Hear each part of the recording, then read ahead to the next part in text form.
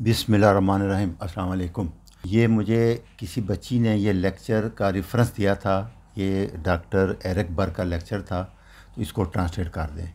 दूसरा, मैं एक चीज़ आपको फिर क्लियर कर दूँ कि अभी इतने ज़्यादा सवाल आ रहे हैं कि जवाब देना मुश्किल होता जा रहा है।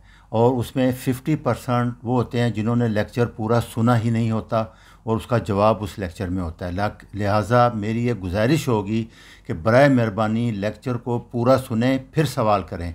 अगर आपने लेक्चर नहीं सुना और आपने थम नेल को देख कर सवाल भेजा तो मेहरबानी करके सवाल ना भेजें। आपकी बहुत मेहरबानी।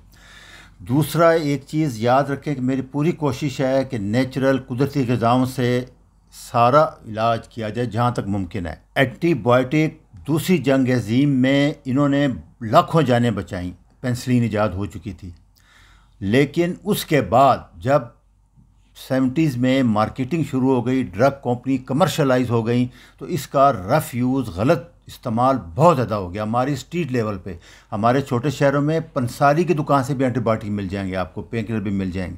उससे इसका रेजिस्टेंस डेवलप हो गया, इसके साइड इफ़ेक्ट आने शुरू हो गए। हालाँकि सारी पहली दवाई जो थी, वो भी प्लांट से जड़ी बूटियों से बनी थी, पहली मेडिसन लेकिन वक्त के साथ जब इजादात बढ़ गई तो उन्होंने इसी जड़ी बूटियों की बजाय केमिकल से बनानी शुरू कर दी। तो अभी 95 परसेंट दवाइयाँ केमिकल से बन रही हैं। ये एंटीबायोटिक भी सारे सिंथेटिक हैं, लिहाजा इनके नुकसान बहुत ज़्यादा हैं। तो कोशिश करते हैं कि इससे ठीक हो जाए। मैं जैसे पहले भी बता चुका हूँ लेक्चर 97 में कि नेचर पेन किलर और अस्थमा के लिए लेक्चर 149 इनको आप सुन लें, बाकी भी तकरीबन whole plant food diet, sugar, blood pressure के इलाज के लिए भी हम कीटो डाइट या लो कार्बो डाइट कह रहे हैं। वो भी नेचुरल डाइट ही है, यही समझ लें। एंटीबायोटिक कहते हैं जो सिर्फ़ बैक्टीरिया को मारे और एंटी माइक्रोबियल जो कि फंगस पैरासाइट और बैक्टीरिया। देखिए, सेंटर में वायरस है, राइट साइड पे एक कीड़े जो पेट में होते हैं, पैरासाइट, और लेफ़्ट पे बैक्टीरिया है।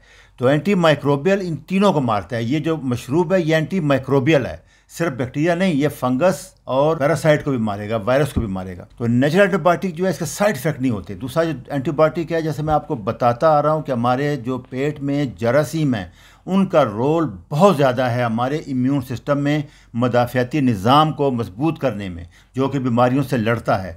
तो ये एंटीबायोटिक उन बैक्टीरिया को मार देते हैं, इसलिए इसके साइड इफ़ेक्ट बहुत ज़्यादा होते हैं। तो लिहाजा ये नेशनल एंटीबायोटिक में ये साइड इफ़ेक्ट नहीं है। दूसरा, जो स्ट्रेस लो होगा, उससे इम्यूनिटी भी बूस्ट होगी। ये स्ट्रेस भी लो करता है। कर्टसोल जब बढ़ता है, जब आप स्ट्रेस में आते हैं तो इम्यून सिस्टम डिप्रेस हो जाता है। इसलिए स्ट्रेस मॉडर्न दौर में सबसे बड़ा फैक्टर है तमाम बीमारियों का। दूसरा, सूरज। के बारे में अब आ रहा है कि आधा से एक घंटा अगर आप कपड़ों के साथ भी रहें सूरज में तो वो कहते हैं कि इससे बहुत फ़र्क पड़ता है कटसोल लो होता है। दूसरा, ये ओवर रिएक्शन विटामिन डी जो है, ये उस ओवर रिएक्शन को भी रोकता है, जिसको आप ऑटोम्यून डिज़ीज़ या वो भी कहते हैं। इससे हम ऑटोम्यून डिज़ीज़ में भी विटामिन डी का रोल बहुत ज़्यादा होता जा रहा है। आए मैं आपको बताता हूँ इसका फार्मूला क्या है। आपने इसमें गार्लिक पंद्रह लहसन की तुरियाँ ले लेनी है, थोम की, एक पूरा लेमन ले लेना है जिंजर 50 ग्राम अदरक ले लेना है, ऑलिव ऑयल या कोकोनट ऑयल 30 मिली एमएल ले लेना है। ये तकरीबन दो से तीन चमचे बनते हैं। और एप्पल साइडर विनीगर 90 एम ये आधा कप बनेगा। और सबसे इंपॉर्टेंट है मनुका हनी ये 40 एम लेना है। ये ज़रा महँगा है यहाँ कम मिलता है। ये मनुका हनी जो है, ये स्पेशल हनी है। ये एक मनुका प्लांट है फ्लावर है, उससे होता है और मोस्टली ये न्यूजीलैंड और ऑस्ट्रेलिया के जंगलात में होता है, वहाँ से आता है।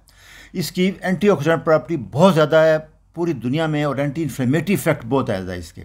और उसके अलावा से vitamin minerals four to five gram ज़्यादा होते हैं आम शहद के मुकाबले में। तो इसलिए इसका बहुत ज़्यादा इफ़ेक्ट है। ये ना मिले, कोशिश करें, ना मिले तो फिर आप देसी हनी यूज़ करें। देसी हनी की पहचान ये है कि डायरेक्ट छत्ते से निकाल के उसको यूज़ करें। जो बोटलों में पार है, उसमें वो गर्म करते हैं, हीट करते हैं, उससे वो काफ़ी चीज़ें उसकी मर जाती हैं। तो मनुका हनी बहुत मशहूर है। ये मिल जाए तो ठीक है, ना मिले तो देसी हनी आपने इस्तेमाल कर लेना है।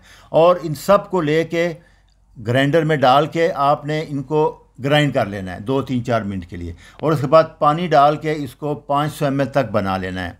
फिर इसको ग्लास की बोतल में डालना है। ये आपने याद रखना है, जितनी मैं दवाइयाँ चीज़ें बता रहा हूँ, ये आपने ग्लास बॉटल आती हैं स्पेशल वो लेकर रखें और पीने के लिए ये स्ट्रा वाली बॉटल आती है। ये आम मिल जाएगी अब बड़े स्टोरों पे आपको। और सस्ती भी है। इसमें यूज़ करें प्लास्टिक में और दूसरी चीज़ों में बिल्कुल यूज़ ना करें। या ग्लास यूज़ करें या स्टेनलेस स्टील यूज़ करें। ये सिर्फ़ बंद बंद बंद करके आप इसको फ्रिज में रख देना है।